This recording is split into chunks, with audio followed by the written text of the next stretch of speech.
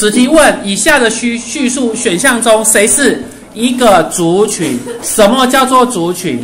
同时同地同一种，所以族群的概念是它是同一种生物嘛，对不对？好，我们来看选项中，螃蟹是一种吗？不是，螃蟹有很多种，对不对？螃蟹你们可以念几个啊？呃，三点蟹、招潮蟹，光招潮蟹就很多种哎，什么青白招潮、台湾招潮蟹，哦，什么三什么和尚蟹，螃蟹很多种。